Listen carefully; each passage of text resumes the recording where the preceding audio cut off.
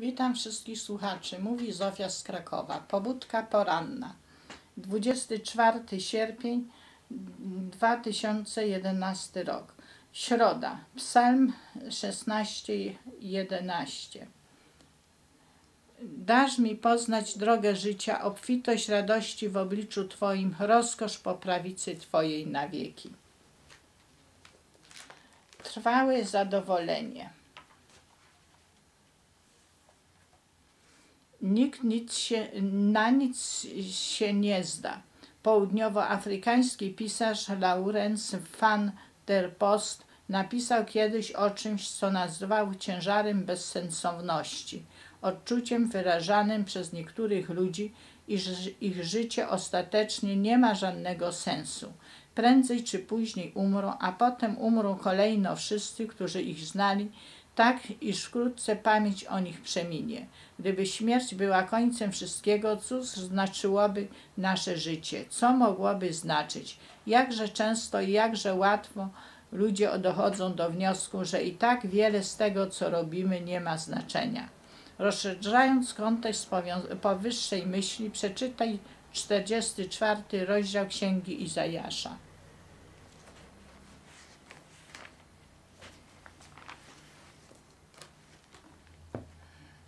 Lecz teraz słuchaj, Jakubie, mój sługo, i ty, Izraelu, którego wybrałem. Tak mówi Pan, który cię uczynił i ukształtował w łonie matki, który cię wspomaga.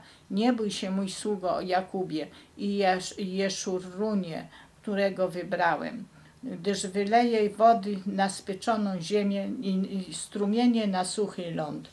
Wyleję mojego ducha na Twoje potomstwo i moje błogosławieństwo na Twoje lata rośle aby się rozkrzewiły jak trawa między wodami, jak to pole nad ruczajami.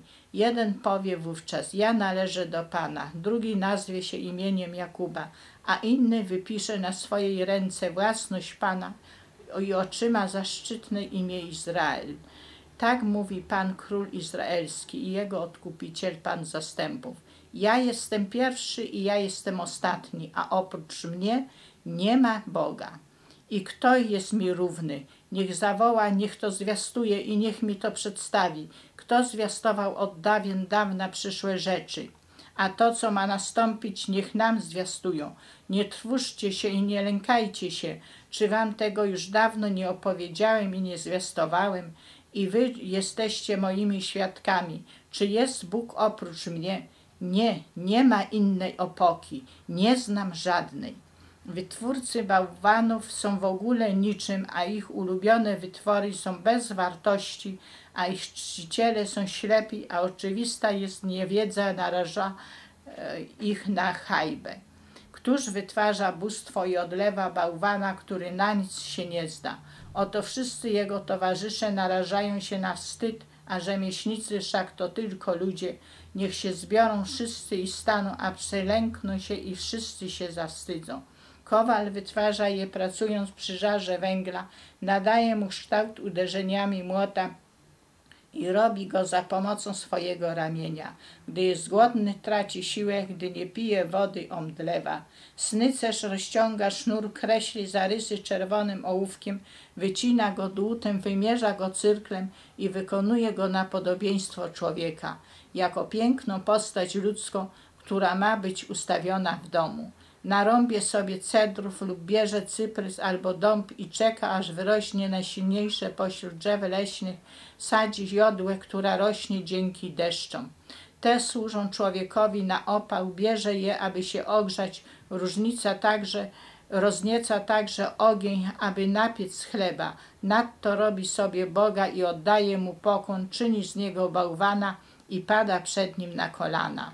Połowę jego spala w ogniu, przy drugiej jego połowie spożywa mięso, piecze pieczeń i je dosyta. Nadto ogrzewa się przy tym i mówi: Ej, rozgrzałem się, poczułem ciepło.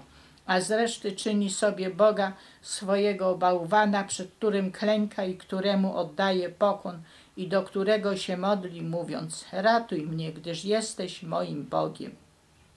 Nie mają poznania ani rozumu, bo zaślepione są ich oczy, także nie widzą, a serce zatwardziałe także nie rozumieją. a nikt tego nie rozważa i nikt nie ma tyle poznania i rozumu, aby rzec. Jedną jego połowę spaliłem w ogniu i na jego węglach napiekłem chleba, upiekłem też mięso i najadłem się, a z reszty zrobię ohydę i będę klękał przed drewnianym klocem. Kto się zadaje z popiołem, tego zwodzi omamione serce i także nie uratuje swojej duszy, ani też nie powie, czy to nie złuda, czego się trzymam. Pomnij na to, Jakubie, i ty, Izraelu, gdyż ty jesteś moim sługą. Stworzyłem cię, jesteś moim sługą, Izraelu. Nie zapomnę o tobie. Starłem jak obok twoje występki, a twoje grzechy jak mgłę. Nawróć się do, do mnie, bo cię odkupiłem. Wykrzykujcie niebiosa, bo Pan to uczynił. Krzyczcie głośno wy głębiny ziemi, wy góry, wybuchajcie okrzykiem radości. Ty lesie ze wszystkimi swoimi drzewami, gdyż Pan odkupił Jakuba i, wsławił się w Izraelu. Tak mówi Pan Twój Odkupiciel i Twój Stwórca jeszcze w łonie Matki. Ja jestem Pan, Stwórca wszystkiego. Ja sam rozciągnąłem niebiosa, sam ugruntowałem ziemię. Kto był ze mną, który rozunicestwiam znaki kuglarzy, a z wróżbitów czynię głupców. Odprawiam mędrców z niczym, a ich mądrość zamieniam w głupstwo, który potwierdzam słowo swojego sługi i spełniam radę swoich posłańców, który mówię o Jeruzalemie. Będziesz zamieszkane, a o namiotach judzkich będziecie odbudowane. Dźwignę je z gruzów, który mówi do Toni, wyschnij i ja wysuszę Twoje strumienie, który mówię o Cyrusie. On moim pasterzem wykona całkowicie moją wolę i o który mówię o Jeruzalemie. Będziesz odbudowany, a o świątyni będziesz na nowo założona.